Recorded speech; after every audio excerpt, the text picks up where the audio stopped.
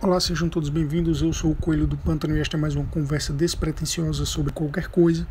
Só que hoje não é sobre qualquer coisa porque eu vou falar sobre Dark Claw Adventures, um gibi da Amalgama Comics e que infelizmente nunca vai ser lançado aqui no Brasil.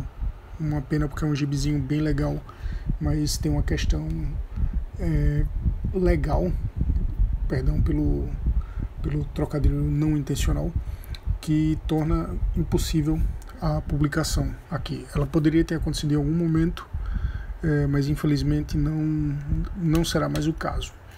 Então, primeiro, é, tem que se entender é, o que é esse personagem, o Dark Claw, o conceito dos, dos GB's Adventures e o Amalgama Comics. Na verdade, na ordem a gente vai, vai falar sobre o que é o Amalgama Comics, o, o personagem Dark Claw e o conceito dos gibis Adventures, para saber por que, que esse gibizinho foi lançado. Então, primeiro, é, Amalgama Comics.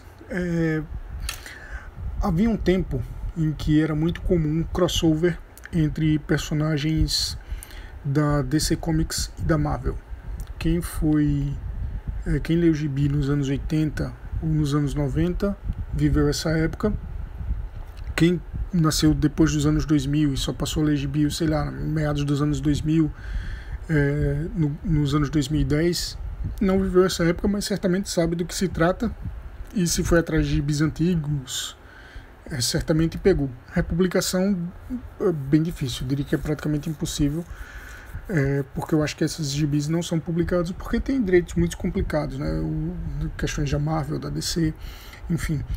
É, esses crossovers não aconteciam apenas entre Marvel e DC, então também teve crossover entre DC e Dark Horse, DC e Image Comics, Marvel e Dark Horse, Marvel e Image Comics e entre outras editoras também.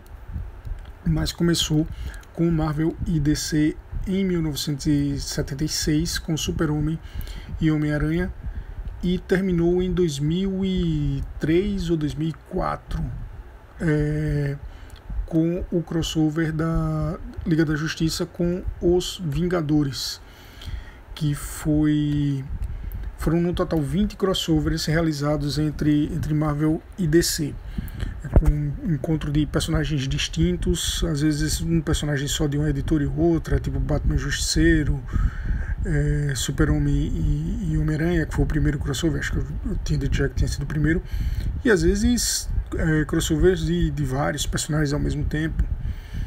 E esses crossovers, eles tanto poderiam, como eles eram não canônicos para ambos os universos, não iam fazer parte da cronologia de nenhum dos universos, é, eles não tinham uma fórmula fixa.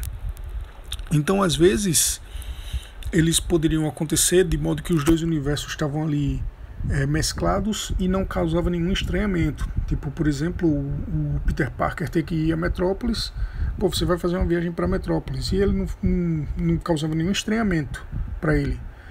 Do tipo, tá, beleza, vou até Metrópolis. Aí chega lá, pô, Metrópolis aqui tem um, um super-herói, um super-homem, etc. E para ele isso não era algo estranho, como se fosse algo do dia a dia dele. O Matt Murdock tem que ir a Gotham City e também isso não, não é algo estranho. Em alguns outros crossovers, é, havia um choque de universos. É como se houvesse algo que tornou a realidade que misturou os dois universos e mexeu na realidade. Então Peter Parker chega em, em Gotham e faz, pô, Gotham City, nunca ouvi falar dessa cidade, o que é isso? E esse foi o, o conceito que levou a um, a um crossover ali em meados dos anos 90 chamado DC versus Marvel ou Marvel versus DC.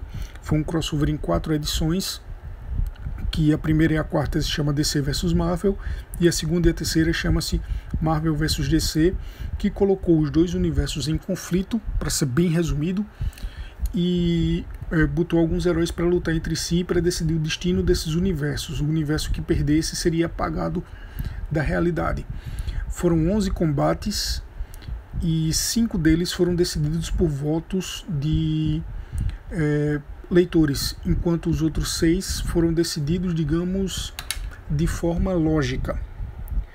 é, de acordo com os editores, com, com os responsáveis lá pela criação do crossover, mas que tem uma certa lógica, não, não foi aleatório essas escolhas.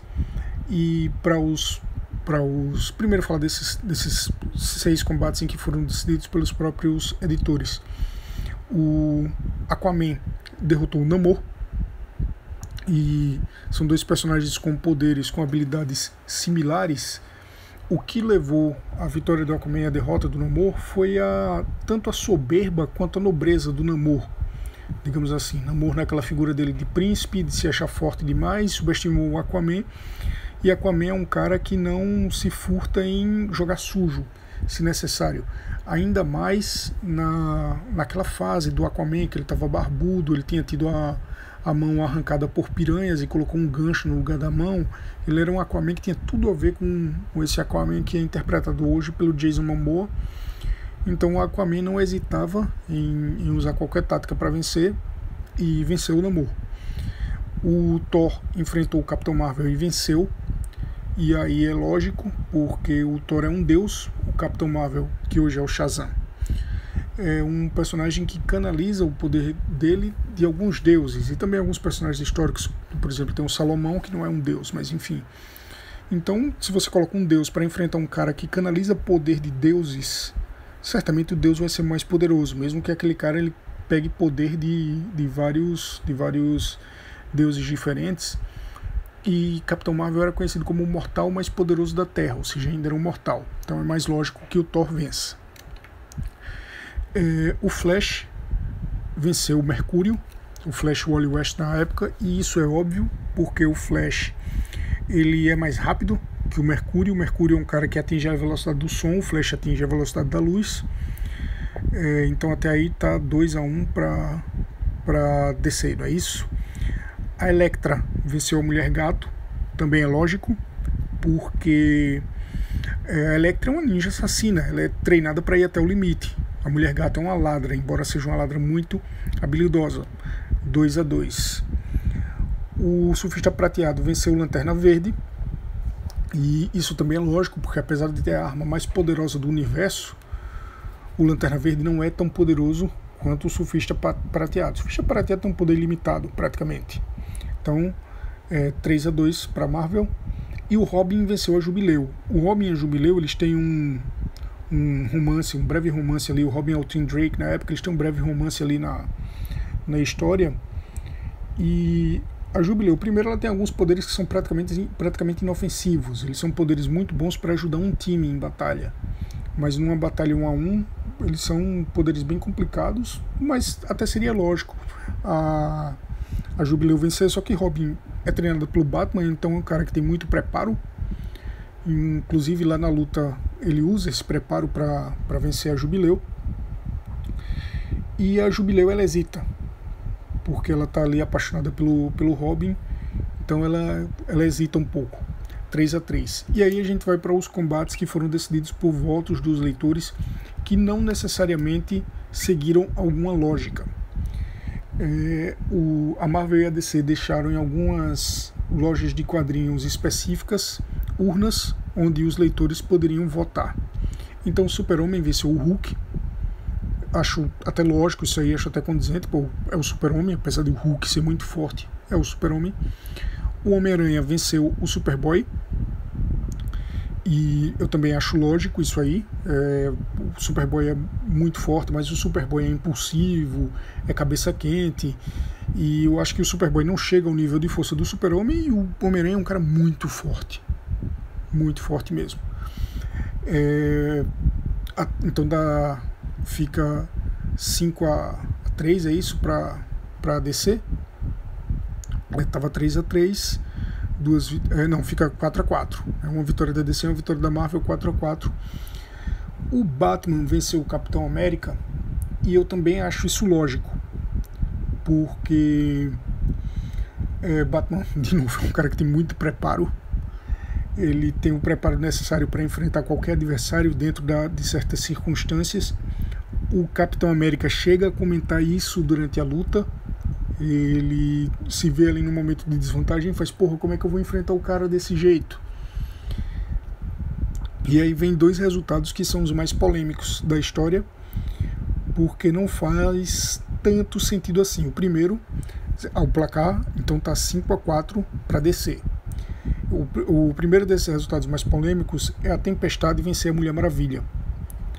Tudo bem que a Tempestade é muito poderosa, ela tem um poder ali próximo do poder de um deus, né, a habilidade de controlar o clima, tanto que ela era conhecida como uma deusa é, por, por, alguns povos, etc. Só que a Mulher Maravilha, cara, é um, tem um nível de poder ali similar ao Homem-Aranha, ao Super-Homem, talvez ao Thor e ao Surfista Prateado, coloca nos personagens da, da, da Marvel, mas na DC ela tem um, um poder ali similar ao Super-Homem. Eu acho que só faria sentido ela ser de, é, de, derrotada por Thor ou por é, Surfista Prateado contra personagens da Marvel. Eu acho que ela venceria a Tempestade, mas a Tempestade era mais popular e venceu. Então 5 a 5 E o Wolverine venceu o Lobo no que seria o, o confronto mais polêmico, digamos assim, o resultado mais polêmico na, na escolha dos leitores. Porque o Lobo é muito mais poderoso que o Wolverine. Mas, enfim, o, o Wolverine, além, além de ser um personagem que não hesita em matar, é, o Wolverine não é exatamente isso. Ah, o Wolverine tem fator de cura, o Lobo também tem fator de cura. Então, enfim, esses foram os resultados. Seria a vitória da Marvel por 6 a 5, mas esse resultado acabou não influenciando no, no destino dos dois universos e já dei spoiler demais, então para quem for, for ler o quadrinho vai entender o que aconteceu. É... Na sequência dessas lutas, acaba acontecendo um evento que foi chamado de amálgama. Amálgama é um termo da química que é uma liga metálica, que é o termo usado para ligas metálicas, ligas formadas entre diferentes elementos da classe dos metais, geralmente mercúrio e algum outro metal. E a gente escuta muito falar em amálgama no, no nosso dia a dia por causa de dentistas, porque a amálgama eles fazem liga, eles fazem uma amálgama, fazem uma liga de metal de mercúrio com alguma outra coisa para fazer obturação dos dentes. Estou até precisando fazer um aqui no meu faz um tempão, mas enfim. O universo amálgama funde o universo Marvel e DC, funde alguns personagens, não necessariamente os personagens que se enfrentaram. Por exemplo, Robin e Jubileu que se enfrentaram, eles vão se fundir num personagem que mantém o nome Jubileu, mas usa o uniforme do Robin e usa a identidade de Sparrow. É, Para quem não sabe, Robin é um pássaro em, em, inglês e Sparrow também é um pássaro que é pardal. O Robin, o pássaro Robin, ele não necessariamente, ele tem várias, várias adaptações de nomes em português. Sparrow, como eu falei, é pardal, que é a identidade dessa fusão da Jubileu com o Robin. O, o pássaro Robin, na verdade, Robin é um, um, nome que designa vários pássaros. Então pode ser sabiá, pode ser pisco, tem um tipo de pássaro chamado pisco. E o Robin que é, inspira o Robin dos quadrinhos, que é o, o American Robin, eu acho que ele não tem nome em português, porque não é um pássaro comum nem daqui, nem de Portugal, nem de nenhum outro país é, é, lusófono e nem próximo. É um, é um Robin que tem as cores vermelho e preto. E aí, aí lembra um pouco o uniforme do, do Robin dos quadrinhos, mas enfim.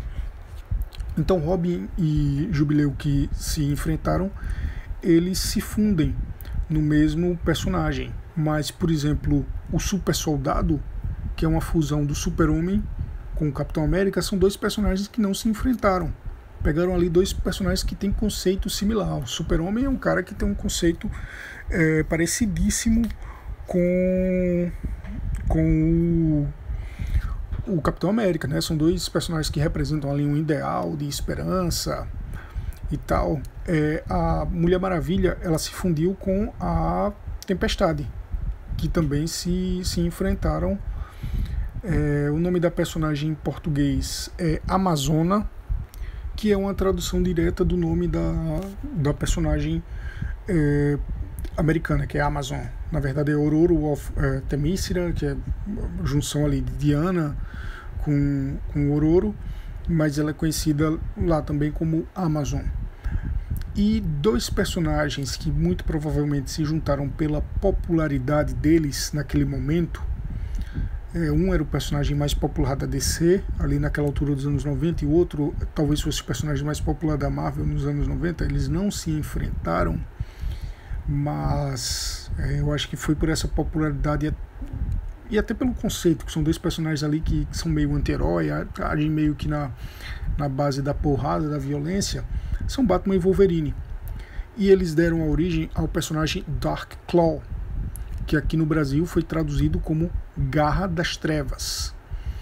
É, que era um, uma, visualmente ele tinha algumas características que lembravam Batman. Ele saltava garras que é, iguais a do Wolverine.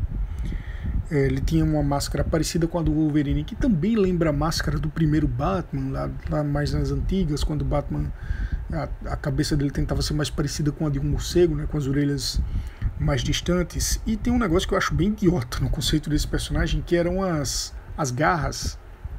Elas tinham uma falha assim no meio delas que lembravam as asinhas de morcego. Eu achei isso muito bobo. Mas enfim, é, o personagem é legal, é, apesar disso. E esses personagens do Amalgam Comics, todos lá nos Estados Unidos, ganharam uma edição mensal. É, o, o crossover Marvel vs DC e DC vs Marvel estava sendo publicado. Depois da publicação do terceiro número, que foi quando tem a decisão dos combates e o universo se amalgama, os dois universos se amalgamam, vários personagens ganharam uma edição mensal. Então, o Batman, o Dark Claw, que era o Batman e o Wolverine, eles ganharam uma edição mensal, uma edição única, tá? Cada personagem ganhou uma edição única, com, com o número 1 e tal, com o logo Amalgama Comics, que era uma mistura do logo entre a DC e o, e o logo da Marvel. É, então era uma, um círculo com um A cheio de estrelas, né? O, o, logo da DC era um círculo com o DC cheio de estrelas. E no meio o nome ali escrito, como se fosse escrito à mão, o grafitado Comics. Né? O logo da Marvel era um M com esse Comics no meio. Então fez uma junção ali dos dois logos, Amalgama Comics. Então são edições praticamente fictícias, porque não são publicações regulares, não tem uma editora de verdade. E o, o Wolverine, o, o Dark Claw, ele ganhou uma, uma edição chamada Legends of Dark Claw. Legends of the Dark Claw, é, baseada na, na Legends of the Dark Knight, é, edições lá do, do Batman. E além do, do Dark Claw e da Sparrow, né, que aqui no Brasil foi chamada de Pardal, Dark Claw virou Garra das Trevas e Sparrow virou Pardal, eles enfrentam o Hiena. Hiena que é uma junção do Wolverine com, desculpa, que é uma junção do Coringa com o Dentes de Sabre, pegou o arquinimigo do Batman e o arquinimigo do, do Wolverine. E a identidade, não é identidade secreta porque é publicamente conhecida, mas a identidade real do, do Iena é Creed Queen, né, que junta o, o primeiro nome, que junta o sobrenome do Victor Creed, que é o Dente de Sabre, e o sobrenome da Harley Quinn, que é a Arlequina. É, essa edição ela foi é, escrita por Larry Hama e desenhada por, por Jim Ballant, tem arte final. Arte final era um conceito importantíssimo, ainda é, mas naquela época era mais ainda de Ray McCarthy. Beleza. É, todos os outros personagens importantes lá, a Amazona, a, o, o Super Soldado, eles ganharam lá sua edição única também, como, como Dark Claw ganhou. E aqui no Brasil, essas edições do Amálgama, elas foram lançadas em quatro edições chamadas Amálgama. Elas não foram lançadas edições solos de cada personagem. A DC lançou lá um mix no, de formatinho em quatro edições, chamada Amálgama, com as principais histórias desse universo Amálgama, mas não lançou todas elas. Lançou apenas as que considerava mais importante. E lá fora, o Dark Claw, ele ganhou mais um gibi, que não teve sua história publicada aqui, que foi o gibi Dark Claw Adventures, que é um gibi, logicamente, baseado no, no gibi é, Batman Adventures. Batman Adventures foi um gibi que teve várias edições publicadas aqui no Brasil, inclusive foi o, gibi, foi o primeiro gibi de super-herói que eu comprei.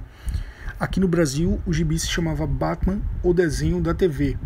Ou seja, eram histórias inspiradas no desenho animado Batman, no Batman The Animated Series, que aqui no Brasil era conhecido como é, Novo Batman, o título que o SBT deu, nunca entendi esse título. É, muito provavelmente é, era o novo Batman, porque o velho Batman seria o Batman da série de TV lá do Adam West, ou então o filme do Tim Burton, de repente. Então aquele era o novo Batman, era assim que, o, que ficou na versão lançada pelo SBT. Não sei se isso foi coisa da distribuidora, ou de repente da dubladora, ou só do SBT, acho que só do SBT, porque no, na abertura, em nenhum momento o desenho era chamado Novo Batman, só nas chamadas do SBT, mas enfim. Então a Batman The Animated Series inspirou uma, um gibi chamado Batman Adventures. Adventures lá no mercado americano geralmente é um termo usado para gibis inspirados em desenhos animados que por sua vez são inspirados em personagens de quadrinhos. Então, por exemplo, tem o gibi das Tartarugas Ninja, é, do, do Eastman e do Laird, virou um desenho animado e depois saiu um gibi inspirado no desenho animado. Esse gibi era chamado Tartaruga é, Teenage Mutant Ninja Turtles Adventures. O Máscara teve o filme, teve, teve o gibi lá da Dark Horse Comics, está sendo lançado aqui pelo, pela Pipoque Nankin. É, depois teve um desenho animado e teve um gibi inspirado no desenho animado que até foi lançado aqui no Brasil e, e depois eu pre pretendo falar sobre ele também. O nome do gibi é Adventures of the Mask. Teve aquele desenho do Super-Homem, lá do, no mesmo estilo do desenho do Batman, do Bruce Timm. Teve um gibi chamado Superman Adventures, inspirado no desenho animado.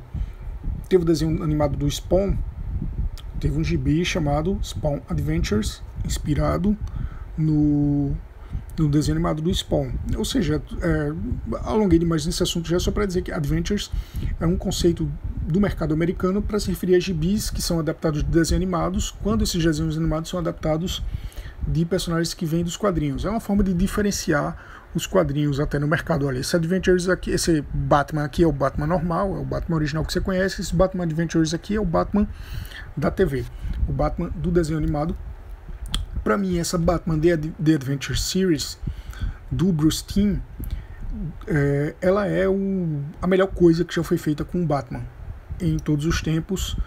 Melhor, inclusive, que os próprios quadrinhos do Batman. Para mim, é melhor que os quadrinhos clássicos do Batman, que os quadrinhos revolucionários do Batman. Aí você pode botar Piada Mortal, pode botar Cavaleiro das Trevas. Eu vou achar o desenho animado do Bruce Timm melhor. Por mais que seja uma adaptação de um personagem dos quadrinhos, eu acho o desenho animado melhor que o próprio quadrinho. Ou seja, eu gosto mais dos quadrinhos do Batman Adventures e depois pretendo falar sobre, sobre esses gibis no futuro do que do próprio gibi do Batman. E o responsável pelo gibi Batman Adventures é um cara chamado Ty Templeton. Ele era tanto o roteirista quanto o desenhista do gibi. E claro, aí tinha é, arte final de outros caras. A arte final, se não me engano, é de Rick, Rick Burchett, se não me engano, o nome do cara que fez a arte final. Aí também tem coloristas. Enfim, não sei se todas as edições foram desenhadas pelo Ty Templeton, mas o conceito é dele. E ele emulava muito bem, ele imitava muito bem a arte lá é, conceitual do Bruce. O desenho animado, obviamente, não foi todo desenhado pelo Bruce mas foi o Bruce o character design e ele pegou muito bem esse, esse character design. E foi ele também o responsável pela Dark Claw Adventures. Eu não sei porque Marvel e DC e o Amalgama Universe decidiram fazer essa Dark Claw Adventures. Eu acho que acharam que seria legal. Então na capa do gibi você já vê o Dark Claw, o, o personagem do, do Wolverine, desenhado no estilo Bruce Timm, desenhado pelo Ty Templeton ele está numa pose bem mais Wolverine que Batman, embora Batman do desenho até faça essa pose, e por trás tem uma imagem assim maior dele, com uma lua no fundo, é, que está numa pose bem Batman. A capa, ela, eu acho que a capa é uma junção perfeita do que é o Wolverine e do que é o, o Batman. E na história, em vez do Iena, tem até uma cena de flashback que aparece é, eles, ele, o, o Dark enfrentando o Iena, mas na história o Dark Claw, eu até agora não falei o nome civil do Dark Claw, é Logan Wayne, mistura o nome dos dois personagens, até então o nome do Wolverine era Logan mesmo, era apenas Logan. Então Logan Wayne, ele, ele e, a, e a Sparrow, ele e a Pardal, eles enfrentam a Lady Talia, que é uma mistura da Lady Deathstrike, que é a Lady Letal, né, aqui em português, que é a Yuri Koyama, uma inimiga japonesa do Wolverine, e da Talia al Ghul, naturalmente. Ou seja, ela é uma. Até porque as duas personagens elas têm um, um, certo conceito parecido ali no, no, na questão de ter uma atração pelo, pelo personagem. Ficou muito bom, ficou muito bom a, a amarração dessa personagem. O universo Amalgama ele foi muito bom em fazer essa junção de, de personagens é, parecidos. E é um gibi que segue no mesmo ritmo das aventuras do, do Batman Adventures. Ele, ele segue um ritmo de ação muito bom, sem ter necessariamente violência. Tem muita ação, ele tem pancadaria, tem tiro, tem chute, mas não tem a violência que os quadrinhos da época já tinham. Aí depois aparece lá a, a Pardal desenhando um carro tipo Batmóvel para resgatar o Logan Wayne. Até então ele está como Logan Wayne, não está como como Dark Claw. Depois ele veste o, o uniforme e vira o, o Dark Claw. É um gibi muito divertido, tão divertido quanto todos os gibis do, do Batman Adventures. Infelizmente não foi lançado aqui na época e nunca mais vai ser lançado porque essa questão dos crossovers está com os direitos perdidos. Porque você tem que licenciar junto ao Marvel e junto a DC. Eu acredito que não seja tão simples assim. Eu acho que esses crossovers não são republicados nem lá mesmo. É, importar esse quadrinho até que é baratinho. É um quadrinho que não foi um quadrinho que marcou época, não foi um quadrinho que virou edição de colecionador, nada disso. Está complicado é, importar hoje em dia por causa do dólar. O dólar é caro. É, aí ainda tem o frete, etc. Mas importar esse quadrinho até que é que é viável para um se você tiver muita grana ou se você tiver num, num momento se a gente tiver num momento que o dólar esteja mais mais em conta porque é um quadrinho bem divertido é uma leitura rápida e muito bacana. Acho que o quadrinho tem 24 páginas, alguma coisa assim. Na verdade é 22 páginas, é o, o padrão de, de quadrinho americano. E, enfim, é uma pena que a, que a Abril, que na época publicava Marvel e DC, publicou o crossover Marvel vs DC e publicou, publicou os amálgamas, publicou a universo amálgama, não tenha atentado para esse quadrinho tão, tão divertido saiu ali na, na mesma época. Então é isso. Se vocês puderem, vocês deem uma olhada no Dark Claw Adventures. Se vocês não conhecem o Batman Adventures, conheçam o Batman Adventures, porque é muito legal, acho que vocês vão gostar. Mas deem uma olhada também aí nesse, nesse crossover, que foi uma grande sacada do, do Ty Templeton.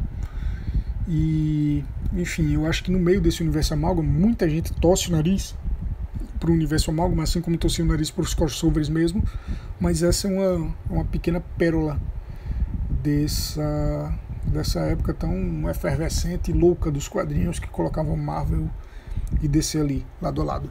Então essa foi mais uma conversa despretensiosa. Ah, se você escutou até aqui, um forte abraço, muito obrigado, você é foda e até a próxima conversa.